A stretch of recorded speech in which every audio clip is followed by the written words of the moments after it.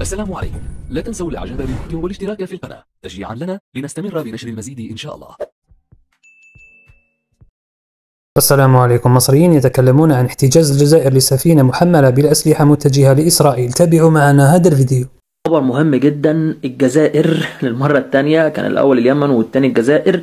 تحتجز سفينة محملة بالصواريخ والأسلحة متجهة إلى إسرائيل. يلا نشوف الخبر. من يومين. إخواتنا اليمنيين يدوا الصهاينة على قفاهم وياخدوا منهم سفينة.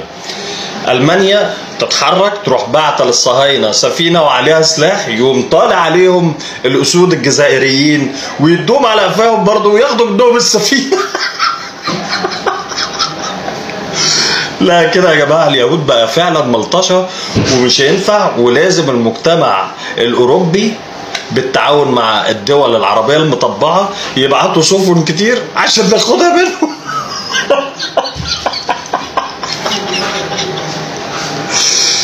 الله أكبر عليكم يا بلد المليون شهيد بلد الأحرار الجزائر. الله أكبر عليكم يا يمنيين.